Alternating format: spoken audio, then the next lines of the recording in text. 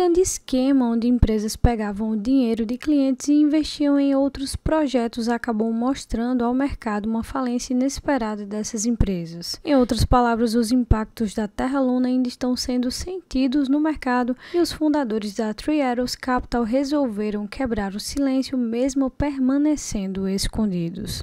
Oferecimento! Pague conta de luz, água, celular, internet, Uber, a casa da massa, de massagem das primas. Qualquer boleto com Bitcoin e outras criptomoedas. A Money tá aqui embaixo no link. Seja feliz. Olá pessoal, meu nome é Ilana, sejam bem-vindos ao canal Dinheiro Cripto. E se você gosta do nosso conteúdo, curte, deixe seu comentário e vamos ao vídeo. Meus amigos, embora não existam retornos sem riscos, Suzu e Kelly Davis conseguiram os piores resultados em todos os seus investimentos, deixando seus credores na esperança de reaver os seus quase 3 bilhões de dólares. Ainda escondidos e temendo por suas vidas, os fundadores da Three Arrows Capital quebraram o silêncio em conversa com a Bloomberg, publicada nesta sexta-feira. Segundo Zu, o ponto inicial dessa crise começou com o colapso da criptomoeda Terra Luna e sua stablecoin Terra USD ou UST. Já o prego do caixão teria sido a queda do Bitcoin dos 30 mil para os 20 mil dólares. Em sua defesa, os fundadores da Three Arrows Capital afirmaram que não ostentavam uma vida de luxo e que nunca prometeram um negócio sem riscos. Entretanto, isso não evitou que a dupla fosse zombada por outros players prometendo grandes retornos às criptomoedas de Dokuo Terra Luna e Terra USD ou UST, conseguiram atrair diversos investidores para o seu ecossistema, incluindo a Three Arrows Capital.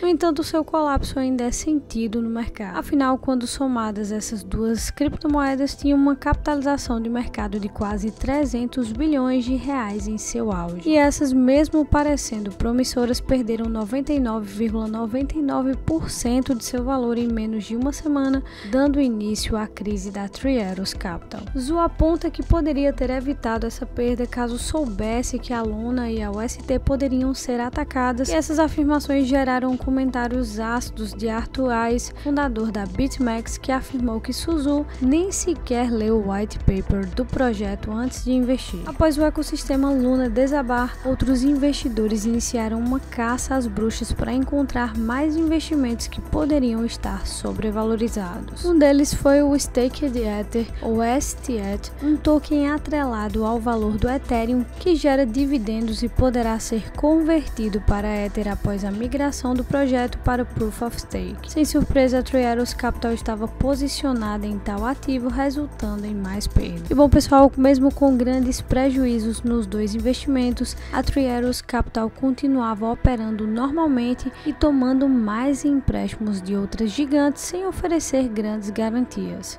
Com esse dinheiro, a Trieros então apostou pesado na retomada do Bitcoin que acabou despencando. E todos esses investimentos foram feitos com o dinheiro dos clientes, ou seja, o seu dinheiro. O dinheiro que foi deixado lá na promessa de retornos vantajosos e que no final não foi vantajoso para ninguém. Daí a importância de ser o custodiante do seu próprio dinheiro. E daí a importância de deixar o seu like nesse vídeo para o YouTube também levar esse conteúdo para mais pessoas. Muito obrigado por terem assistido e até mais.